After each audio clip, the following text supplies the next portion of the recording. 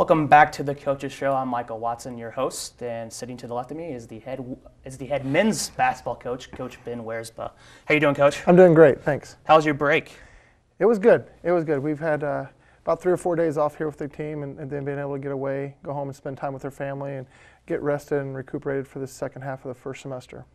Can you? Uh, well, I currently you're you're you're one and four right now overall as a team, and I was wondering maybe you can give us your thoughts of so far, you, know, of your overall impression of your team so far early in this season, and uh, you know maybe just give us a little bit of recap of uh, you know of the first uh, five games so far in the season. Sure.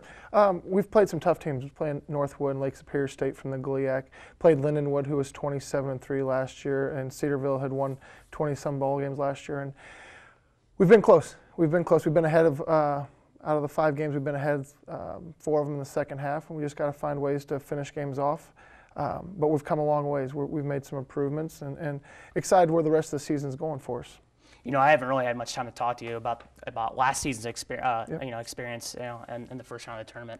Can you just give me your overall uh, thoughts about the experience you guys had as a team last year? Yeah, last year I think uh, once we came back from Christmas, we the guys really got along and, and started playing well together. And I think that was the biggest thing was the team chemistry. Um, and, and, things started going the right way. Things just kind of snowballed. And, and every time we took the court, you know, it was not hoping to win, it was you were expecting to win. And so once we got there, it ended a lot sooner than we wanted to, but uh, it was a great ride, and hopefully we can build off that from now until the rest of this rest of this season. Well, I mean, it was a great you know experience of actually televising it and uh, doing the play-by-play for it. It was an awesome season, and uh, you know, you you touched base on team chemistry, and I was wondering maybe you can give us your overall thoughts of the team chemistry this year. Right, uh, we got a, we got five new faces from last year. Um, we got guys in different roles. You know, the seniors of Wes Dawson and Kyle Gupton and Kevin Pettiford um, really setting the tone. Chase Brinkley kind of just being leaders on the court for the team, helping the new guys that came in. Um, uh, Jamal Millis and Dush, uh, Dushko Despot, the two freshmen, and, and Reagan Bruner and, and uh, uh, Dylan Mozak, helping those guys just understand what the program's to be about. And, and then Contrell King and, and, Dylan Sparkman, you know, just a year older, and, and Brandon Stone, who's been here for three years with me, that's guys get along really well. Guys like to compete against one another, and so that's why this team is going to continue to get better and better as we go along. I know last year you had some really strong leaders, and um, you know Michael Fuquede and uh, Jermaine Love Roberts, just to name two. Yep. Um, can you just talk about your senior class this year, and uh, you know maybe some of their leadership that they're bringing uh, right. onto the court? I think uh, Wes Dawson's, I guess, would be our emotional leader. He just plays hard. Um, some things he does doesn't show up in the box score. He'll guard the other team's best player, and he leads by example in practice. He'll get vocal when he needs to. Um, Kevin Pettiford's came back in really good shape and, and has really been pushing this year. He's, he's uh, just just watching practice and winning every sprint and just pushing himself. He's he's leading. Um, uh, Kyle Gupton's a quiet kid that just goes out there and does his business and, and, just a good kid and takes care of everything that needs to get done. Chase Brinkley's a, I guess more of the vocal guy. He can he's, he can talk to the guys and get them where they need to be, and and so uh, those guys have set the set the tone for this team that's here right now. You know, uh, you just you just said that you know you have a lot of new faces on this uh, ball team than you know than the last year. And I was wondering, as a coach, what are some of the challenges? you know, of, of coaching, you know, so-called new faces right. on, a, on a basketball team? I think the good thing is when you got good seniors and, and, juniors and sophomores that have been here, those guys can help lead. You know, it's it's different than Coach Oletsky coming in. He's got 10 new faces. He's coached them all. Well, we've only got four or five where the other six or seven can help with the new guys. And, and so um, guys have questions. They can come to the coaching staff, but they can also go to their teammates because the teammates understand what's to be expected. And so I think that's where we're getting better um, with the program, building things where it needs to get to. But uh, you know, it's, it's, fun. It's watching these guys grow up and from where they were back at the beginning of school till now. It's it's been uh, it's been really fun to watch.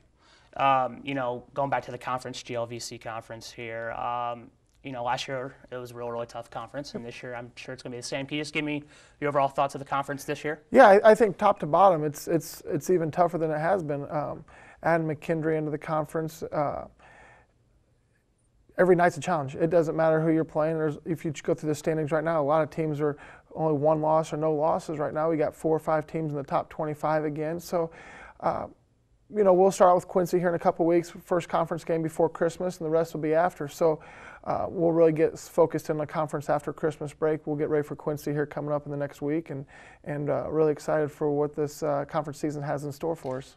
you know, as a head coach, do you get nervous over breaks? I mean, uh, do you get like cautious on your players, and uh, you know, are you? I mean, are you stressing to them? Hey, you know, you you know, stay focused, stay in shape. Yeah, no, I think you have to. We we just had four days off for Thanksgiving, and it's there's a fine line there because you want guys, you know, to go home, be with their families, enjoy, and, and get rested and recuperated. But there's also coming back and trying to get turned around and play a game really quick. Um, but our guys have done a good job giving them a little bit of a break, and, and they've come back ready to go. And, and and everybody needs that. Players and coaches both just need that three or four days away just to get be with their families and friends and, and get rested up and ready to go. You know, looking at your upcoming schedule, um, you know, you're facing some, you know, some some tough opponents. Right.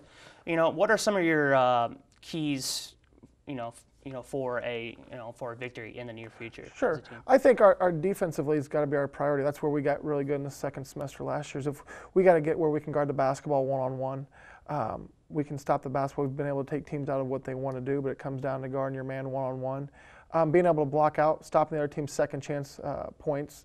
And then offensively, we just keep need to keep pushing the ball and taking care of the basketball, take good shots. Um, we got a lot of guys that can score the basketball, um, so if we can get a good shot down the court every time, I'll feel happy with uh, the outcome. You know, Coach, uh, quickly, can you just give me your overall thoughts of your uh, starting five so far this season and possibly your bench and the role that your bench plays? Yeah, I think. I mean, starting lineups change pretty much game to game right now. It's, it's one of those things we tell our guys: you're being evaluated every minute, and so if you don't come in ready to practice, somebody's right there to, behind you to beat you out. And I think that's the the strength of this team. We've got 12 guys that all can play, and uh, if you don't bring it for practice or games or what it may be, somebody's right there to pass you by. So I think our depth of our team is really strong. Um, we don't really have five guys that are going to start. You got we got 12 guys that are going to play for us, and uh, that's kind of nice knowing if somebody's struggling, you got somebody else right behind them that's ready to play, and, and they cherish opportunity.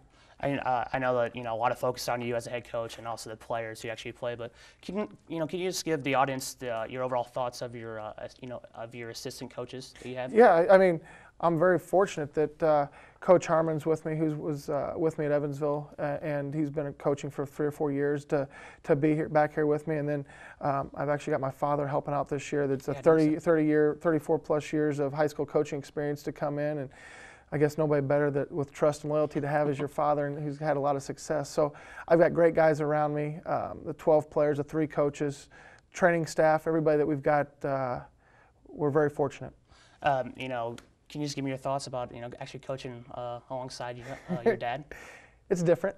I, you know, it's one of those things I played for my dad for, in high school, but actually now it's one of those things I'm telling him what to do and being in charge of him. It's it's it's fun, but uh, you know, even when before he helped out, he was always giving me notes and pointers, and so having him right there next to me on the bench or in practice every day, somebody else you you got uh, him and Coach Harmon both to trust and put a lot of I put a lot of trust into to help us out. Overall, uh, last question: What's your overall um, goal this season? You know, as a team. I think it's just to get better each day. I mean, you take last season, we wanted to try to build off of it, and, and uh, we've, we've kind of stayed stagnant. We need to go forward and, and take this program and go from where we were last year and keep getting better. And as long as we get better each day in practice, I think you'll see this team a lot like last year as we get going, um, especially in conference play. We'll get a lot better and, and keep this thing going forward. Well, Coach, good luck. Uh, for, you know, throughout the remainder of the season. I appreciate it. Thanks a lot. For more information on uh, Coach Ben Wierzba's basketball team, men's basketball team here at UIS, you can always check out the UIS athletics homepage at uis. Dot, or actually uisprairiestars.com. I'm your host, Michael Watson. Until next time, I'll see you later.